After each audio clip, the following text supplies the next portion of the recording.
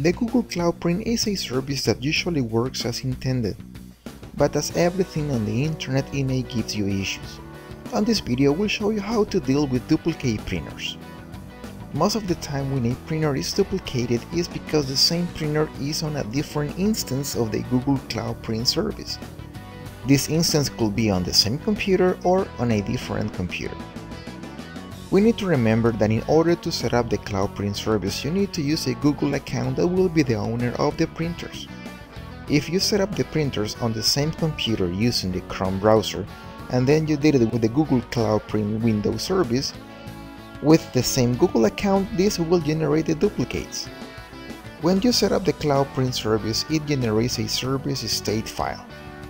This will be saved depending on the type of setup you have done. If you use the Chrome browser, this file can be found at this path. Your C drive, users, your username, app data, local, Google, Chrome, user data. But if you use the Cloud Print Windows service, this file can be found at this path. Your C drive, users, your username, app data, local, Google, Cloud Print Service. The service state file contains important information like the Google account that is associated with the service, the proxy ID which is the unique ID of the Cloud Print instance, and the printers that were originally associated with the service. To determine which is the correct duplicate printer you need to do the following. Number 1. Know how did you set up the Cloud Print service on your print server. In my case, I have it set up using the Cloud Print Windows service. Number 2. We will look for the service state file that is located on this path. Your C drive, users, your username, app data, local, Google, Cloud Print service. We will open the file with the notepad. Let's copy the proxy ID into another notepad.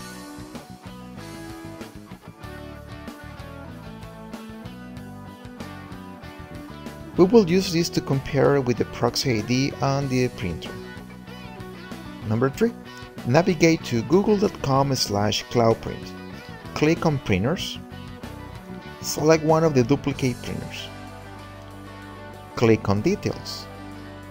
And click on Advanced Details.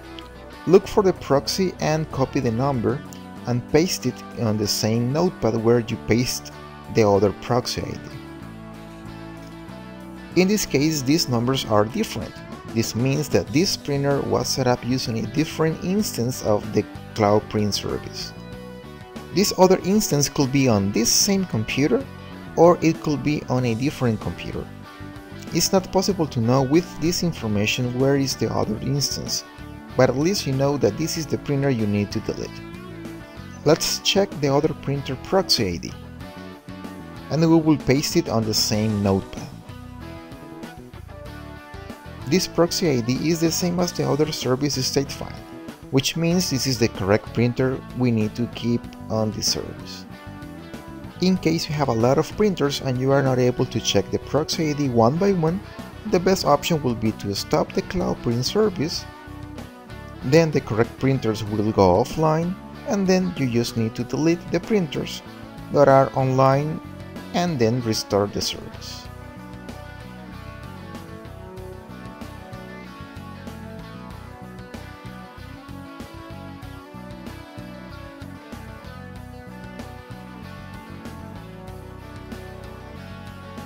If you like this video, please share with your friends on your social networks. Please subscribe to my channel if you wanna see more videos like this. If you have questions about this, don't hesitate and post them on the video comments and I will answer them the best I can. I am Mac and I see you in my next video.